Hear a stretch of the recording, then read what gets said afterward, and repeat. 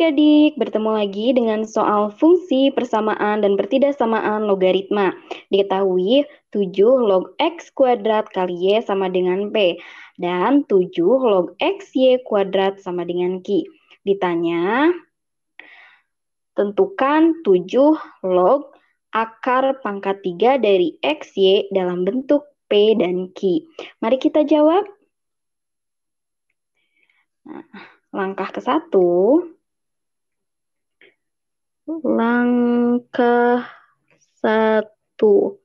Nah, jadi di langkah satu ini kita ingat ya, kita mempunyai sifat logaritma, yaitu M log X ditambah M log Y sama dengan M log X kali Y. Betul ya? Nah, dengan sifat ini kita akan menentukan model persamaan yang akan diselesaikan. Kita punya 7 log X kuadrat kali Y. Nah, ini bisa kita tulis sebagai 7 log X ditambah 7 log X ditambah 7 log Y. Betul ya? Nah, kemudian kita tulis lagi 7 log X. Nah, yang ini kita operasikan ya. Jadi, ditambah 7 log X kali Y. Nah, seperti ini ya adik-adik. Jangan lupa ini nilainya adalah P. Ini juga P. Ini P. Kemudian kita tuliskan persamaan kedua yang kita ketahui ya. Nah, ini kan persamaan pertama. Saya tulis, nah di sini ya. Ini persamaan yang keduanya, yaitu 7 log X, Y, pangkat 2 sama dengan Q ya. Nah, hal yang serupa kita buat ya. Nah, ini itu sama dengan 7 log X ditambah 7 log Y ditambah 7 log Y sama dengan Q ya. Nah, setelah ini Kemudian kita operasikan yang ini ya. Nah, hasilnya adalah 7 log X, Y ya. Ditambah 7 log Y sama dengan Q. Kemudian kita akan menuju ke langkah kedua. Langkah dua. Nah, di langkah kedua ini kita mempunyai penjumlahan ya dari kedua persamaan tersebut. Kita tulis lagi ya. Nah, kita punya dua persamaan penjumlahan, yaitu 7 log X ditambah 7 log XY sama dengan P. Nah, kemudian 7 log XY ditambah 7 log Y sama dengan Q. Nah, kita jumlahkan gitu ya keduanya. Kita jumlahkan, maka hasilnya menjadi, kita tulis di bawahnya, 7 log X ditambah 7 log XY tambah 7 log XY tambah 7 log Y sama dengan P tambah Q ya. Nah, kemudian ini ada kita kelompokkan ya 7 log X ditambah 7 log Y ditambah kita operasikan saja yang ini karena nah ini sama ini ya karena dia sama berarti ada dua gitu ya. Dua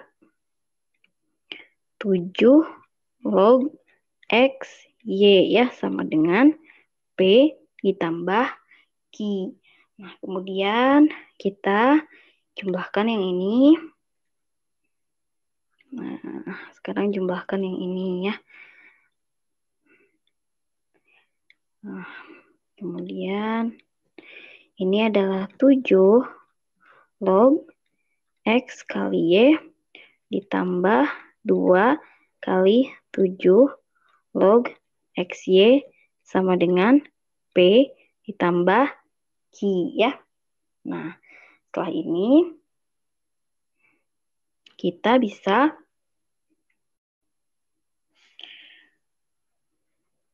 menjumlahkan ya karena ini dan ini sama ya log xy 7 log xy dan ini 7 log xy 1 7 log xy ditambah 2 7 log xy.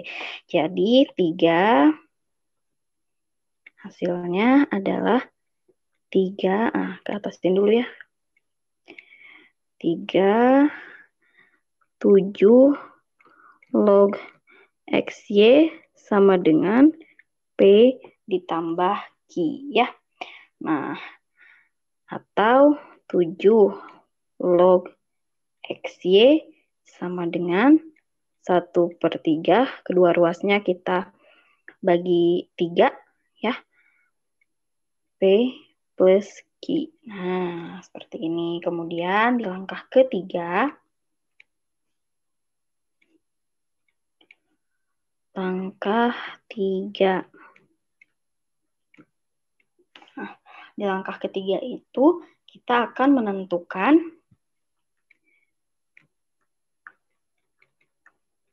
nilai dari 7 log akar pangkat 3 dari X ya. Ini yang ditanyakan di soal.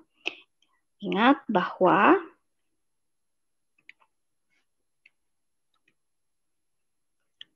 akar X pangkat A, akar pangkat B dari X pangkat A adalah X atau sama dengan X pangkat A per B ya.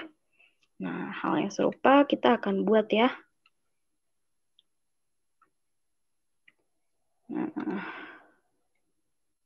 seperti ini.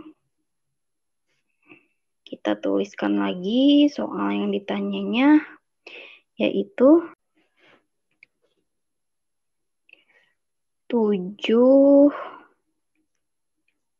kita tulis tujuh log akar pangkat 3 dari XY ini sama dengan 7 log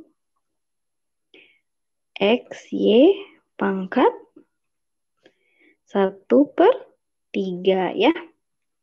Nah, kemudian setelah seperti ini, ingat kita punya sifat logaritma ketika M log X pangkat N itu sama dengan N kali M log X. Maka hal yang serupa kita bisa buat ya ke persamaan yang kita miliki. Di langkah ketiga, yaitu sama dengan sepertiga kali 7 log X, Y ya. Nah, setelah seperti ini, kita ingat bahwa 7 log X, Y, nah itu sama dengan sepertiga, sebentar saya geser, Nah, sepertiga P ditambah sepertiga dikali P tambah Q ya dari langkah ke 2. Nah, ini ya, 7 log XY sama dengan sepertiga kali P plus Q ya. Maka maka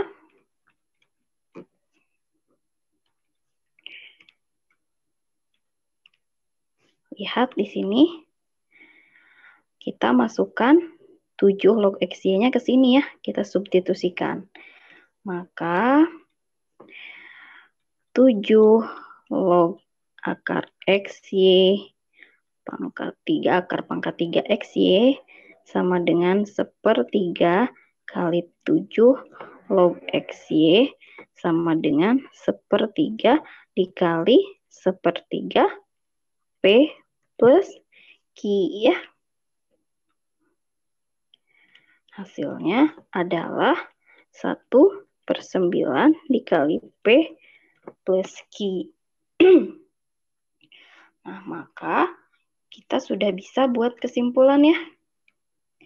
Atau jawaban akhirnya gitu ya. Kesimpulannya,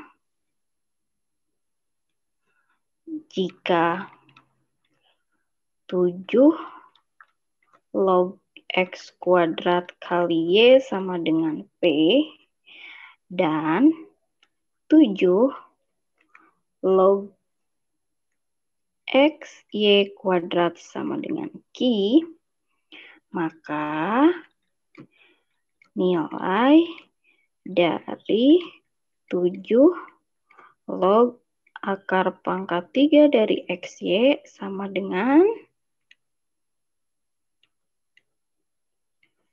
1 per 9 dikali P ditambah Q ya.